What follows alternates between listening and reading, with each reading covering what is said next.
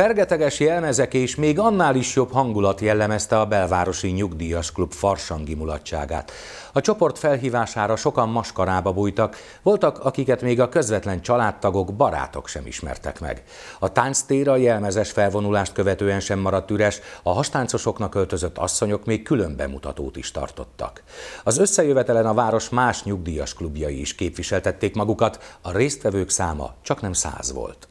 Minden évben megünneplik a farsangot. Szeretünk mulatni, meg szeressük a maskarákot. De most nagyon sokan voltunk, hívtunk vendégeket, hál' Istennek nagyon sok maskarás jött hozzánk, tehát ez jó, mert hát emeli azért a hangulatokat itt. Örülök neki, hogy ez így összejött most is, és remélem, hogy még a következő évben is meg tudjuk tartani ezt a kis ünnepséget.